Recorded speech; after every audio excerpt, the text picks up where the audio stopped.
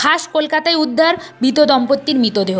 সোমবার সকালে নেতাজিনগর এলাকার একটি বাড়ি থেকে উদ্ধার হয় রক্তাক্ত দুটি দেহ।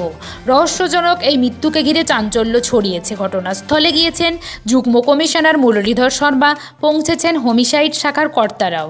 যারা গিয়েছেন বছর আশির দিলীপ মুখার্জি এবং বাহাত্তর বছরের স্বপ্না মুখার্জি একাই থাকতেন ওই বাড়িতে। গত পরশুও তাদের পাড়ায় দেখেছেন স্থানীয়রা। এরপর টানা দেড় দিন তাদের দেখা না মেলায় সন্দেহ হয় প্রতিবেশীদের।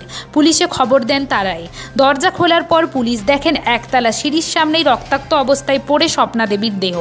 দোতলায় লণ্ডভণ্ড ঘরের বিছানা থেকে বালিশ চাপা অবস্থায় উদ্ধার করা হয় দিলীপ বাবুর দেহ।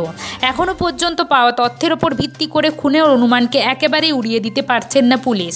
পুলিশ তদন্তে ফরেন্সিক বিশেষজ্ঞদের সাহায্য নেওয়া হচ্ছে। ইতিমধ্যে ঘটনাস্থল থেকে নমুনা সংগ্রহ করা হয়েছে। দেহ দুটিকে ময়নাতদন্তের জন্য পাঠানো হবে। তারপরেই জানা যাবে কীভাবে মৃত্যু হয়েছে ওই দম্পতির। পরিবারের অন্যান্য সদস্যদের জিজ্ঞাসাবাদ করা হবে। আশেপাশের বাড়িতে ফুটেজ না থাকায় তদন্তে কিছুটা সমস্যা হচ্ছে। বিষয়টি খতিয়ে দেখছেন গোয়েন্দা বিভাগের অধিকারীরা। গোটা এলাকায় স্নিপার ডগ দিয়ে তল্লাশি চালানো হচ্ছে। আচ্ছা আপনি কি এইখানে কাজ করতেন ওনার কাছে? কি হয়েছে ঘটনাটা একটু যদি বলেন আমি তো আপনি? এসে দেখছি যে এই অবস্থা।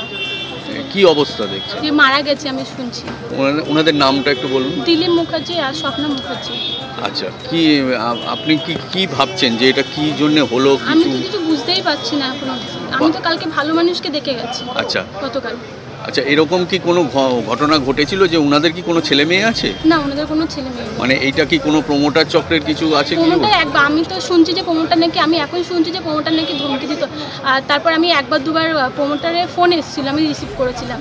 তো বলতো যে বাড়িটা বিক্রির ব্যাপারে আমি তখন দিদার দিকে তাকালাম দিদা বলল যে বল না। আমি তখন বললাম যে এখন এই বিষয় নিয়ে কেউ কথা বলতে পারবে না আপনি রাখুন বলে ফোনটা কেটে দিয়েছি আবার ফোন করেছিল।